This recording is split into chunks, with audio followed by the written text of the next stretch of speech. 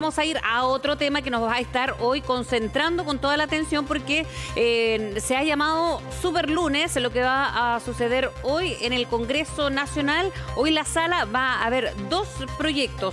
El eh, que fue enviado por el gobierno la semana pasada, ¿se acuerdan ustedes que se ha llamado el quinto retiro acotado? Y eh, eso por, un, por una parte y el otro, el que ya se había dado a conocer y se había rechazado en la Comisión de Constitución.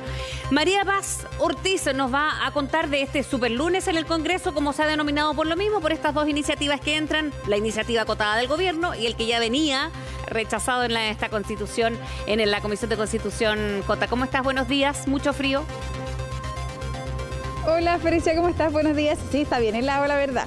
Pero eh, hoy día es clave, hay, hay energía porque eh, si hablamos todas las semanas anteriores de que era una semana clave, esta es la más clave de las claves. básicamente, porque claro, hoy día se votan ambos proyectos de retiro. Claro, entonces eh, hay harta expectación por lo que va a pasar por la que van a decidir los parlamentarios y además también eh, por parte del gobierno entendiendo el momento crítico que estamos en términos económicos con la inflación como está eh, y, como han advertido que un quinto retiro podría entonces empeorar mucho nuestra situación. Pero claro, ayer hablaba de las ministras porque de alguna forma el gobierno está concentrado en convencer todavía. Esa es la técnica que, están usando. Ayer el ministro Giorgio Jackson lo decía en, los diarios, decía, eh, nuestra estrategia por ahora es persuadir, eso es lo que vamos a hacer hasta ahora se les preguntaba incluso si iban a recurrir, por ejemplo, a un TC, pero él decía, hasta ahora queremos persuadir en, eh, que, los diputados prefieran nuestro proyecto acotado, que claro, eh, permite un retiro eh, solo para el pago de deudas, son seis las opciones en las que la gente puede optar y em, eh, no habría un traspaso, de, no, hay, no hay un dinero eh, flotando de alguna forma, sino que, eh, que eso se llaman activos, no habrían activos, sino que sería un pago de deuda de manera automática a la institución a la que se adeuda. Dicen que eso podría ser una forma a lo mejor más responsable de hacerlo. Escuchemos a las ministras de Trabajo y a la ministra Vallejo también, porque era, estaban hablando un poquito de eso, de, de lo que quieren hacer, de convencer y también cuál sería la mejor opción.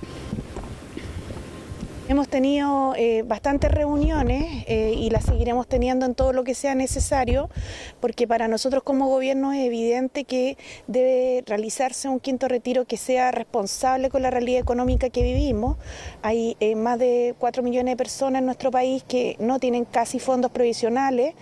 además, hay una necesidad de las familias de poder disminuir su nivel de agobio producto del endeudamiento y por eso con miras a los efectos que podría tener esto en la inflación y a la larga terminar perjudicando a las familias que son precisamente de más escasos recursos, hemos propuesto este quinto retiro como una alternativa responsable al otro proyecto de ley que se había presentado. Los retiros son medidas contingentes desesperadas no buenas políticas públicas. Y quien haga de esto una política pública permanente, como única, como única política para ofrecerla al país, es insistir en la lógica del ráscate con tus propias uñas, que es una lógica muy neoliberal. Entonces, lo que estamos tratando de hacer bajo un programa de transformaciones es atender a la recuperación inclusiva, que la gente tenga salarios y empleos estables, atender a la situación de deuda y entendemos ahí que tenemos, que no simplemente deudas, estamos hablando de gente que está sobreendeudada y que golpea principalmente sectores vulnerables y sectores medios. Y estamos tratando también de abrir paso a reformas estructurales explicar, eh, más allá de los argumentos que entregan las ministras, ¿no? que era a quienes escuchábamos, van a ingresar estos dos proyectos y ambos hoy tienen que ser despachados porque eh, los dos están con suma urgencia. Ahora lo que necesitan para ser votado es distinto cada uno, porque el otro que había sido eh, rechazado por la Comisión de Constitución necesita en de 93 votos o más para ser aprobado y el otro necesita 78 porque además tiene un elemento de seguridad social y eso permite que tenga menos votación quizás para eh, o se, se requiera menos votación. Lo importante es que ambos sí deben verse sí o sí durante esta jornada hasta total despacho. Claro, parte este debate a las tres Fresia y, eh, o sea, uno debe aprobarse, uno pasaría a comisión, el otro pasa al Senado, o sea, son instancias distintas a las que van a llegar, eh, por lo tanto, el, ministro Jackson, por ejemplo, advertía que, que va a ser, eh, o sea, en ningún caso se pueden aprobar ambos, porque sería como, hay, hay, materias constitucionales que son, que complican el tema, pero claro, necesitan votaciones distintas, eso de alguna forma ayuda al gobierno en su proyecto pero eh, también está difícil el debate, incluso de los partidos que deberían estar eh, del lado del gobierno para la votación. Estaba, por ejemplo, eh, los diputados Calisto y Tapia, habían unos que decían que van a, que, aprueban lo del gobierno, otros dicen que encuentran insuficiente lo que, lo que aportó el gobierno, que no se abrieron al debate, entonces son bastante críticos de, em, de la acción que tomó y del proyecto en sí. Entonces va a ver que va a ser una votación yo creo que muy tensa, porque hay muchos que también decían, yo no voy a revelar cómo voy a votar hasta, eh, hasta este lunes, cuando empiece la votación a las 3 de la tarde. Así que vamos a escuchar a los diputados y el debate en torno entonces al proyecto del gobierno. Por esa gente, yo creo que nosotros debemos tener la sensibilidad de votar por este quinto retiro, para entregar una válvula de escape, para entregar una salida a personas que están muy desesperadas. Y eso nosotros lo vemos y lo palpamos cuando pasamos por las calles, cuando vamos a un supermercado, cuando vamos a una feria, cuando vamos a un campo deportivo, es lo que nos pide la gente. Desde la democracia cristiana estamos más bien proclives a aprobar mayoritariamente el quinto retiro de fondos de pensiones de iniciativa parlamentaria, es decir, el quinto retiro sin letra chica. Nos parece que la propuesta que ha hecho el gobierno es muy restrictiva y va a tener serios problemas de aplicabilidad. Además, lamentamos que el gobierno no haya tenido la voluntad de diálogo con todos los sectores políticos porque nosotros estamos convencidos que la propuesta parlamentaria permitía también abrir la discusión de fondo respecto a la reforma de pensiones, junto con ello también la garantía de eh, permitir que los fondos son de las personas y son inexpropiables. A las 3 de la tarde, entonces, eh, María Paz, hoy comienza esta discusión, que ya lo decíamos, porque tienen que estar cumpliendo el, plazo de, discusión de, una semana. Por tanto, vamos a tener hasta total despacho, seguramente desde las 3 de la tarde, con muchísimos debates en el, en el Congreso durante la tarde y puede extenderse hasta entrada la noche incluso. Claro, y lo otro que sorprende es los diputados que dicen que van a votar por ambos, eh, van a aprobar ambos. Eh, y eso es bastante eh, complejo porque de alguna forma el que no se decían tampoco ayuda mucho, ¿no? hablábamos recién de cuánto necesita cada proyecto y que los diputados digan, bueno, yo voy a aprobar ambos. también es complejo, hay que entender también que llevamos dos años de pandemia y los retiros fueron una solución hace dos años y también deberíamos esperar que entonces el debate vaya avanzando y vaya haciéndose más responsable también respecto de las ayudas. El gobierno entregó 21 propuestas, eh, a lo mejor eso también se puede mejorar, claro, pero también es importante entender que no podemos estar eternamente recurriendo a los retiros de fondos previsionales, eso también afecta directamente a la gente eh, y es complejo, eh, lo han advertido también mucho desde el punto de vista de la inflación, pero, pero también habría que entonces ir aportando al debate y a que la gente deje también de, rascarse con sus propias uñas porque son sus dineros, claro, pero la idea es que eso también les sirva eh, en algún momento en su vejez. Pero vamos a escuchar al diputado Vaca del PS que decía, claro, que él va a votar a favor de ambos retiros.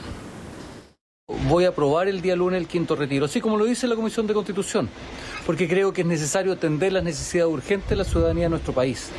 Respecto al proyecto del gobierno, también lo voy a apoyar, pero en particular por dos temas que a mí me, lo, me hacen suficiente razón para poder apoyarlo. Uno, el tema de las pensiones de alimentos adeudadas a miles de mujeres por los papitos corazón. Y dos, en la ampliación del seguro de cesantía pero creo que es necesario desarrollar cambios urgentes en la propuesta del gobierno, en particular aquellos destinados al pago de deuda financiera. Ahí estaba entonces el diputado Frese. Hoy día también eh, decíamos que es el día clave de los claves porque además el gobierno advirtió que hoy día también va a ingresar este proyecto que hace inconstitucional, perdón, el, retiro de, o sea, la expropiación de los fondos previsionales de las personas, que era un compromiso que de alguna forma eh, le hizo suscribir eh, la UDI. Decían, no vamos a votar por el proyecto del gobierno de, em, de estos este retiro acotado si es que ellos no ingresan esto y no, y no aseguran que entonces a la gente no se le va a expropiar expropiar sus fondos de pensiones. El gobierno entonces se comprometió y hoy día dicen que lo van a ingresar, así que también va a haber que estar pendiente de eso, porque seguramente de eso también dependen los votos de la UDI y también a lo mejor de otras bancadas que puedan sumarse a este compromiso. Pero Escuchemos lo que decía la oposición también, porque ellos decían que eh, habían unos comprometidos con el, retiro del gobierno, otros insisten entonces en el quinto retiro, eh, el del 10%. Escuchemos. Tenemos una, nosotros una tarea muy importante como parlamentario, a ver si volvemos a recuperar nuestro prestigio ¿ah? y volvemos realmente a eh, legislar, aunque cueste, aunque duela, para el bien futuro de las personas. Y yo creo que el presidente Gabriel Boric demostró ser un muy buen líder electoral y ahora le toca demostrar qué tal líder político y que es capaz de alinear a su, toda su coalición en este tipo de proyectos. Yo creo que él hoy mañana se juega una carta tremendamente importante de mostrar su liderazgo. Por ahora no estamos apoyando y no vamos a apoyar el del gobierno. El de quinto retiro va a depender de lo que haga el gobierno respecto a la inexpropiabilidad. Para nosotros es muy importante garantizarle a los chilenos que ni este gobierno, ni el siguiente, ni el siguiente van a echarle mano a los, a los fondos de los trabajadores. Eso es de cada chileno, se lo ganó con el suerte de su frente y nosotros lo vamos a defender.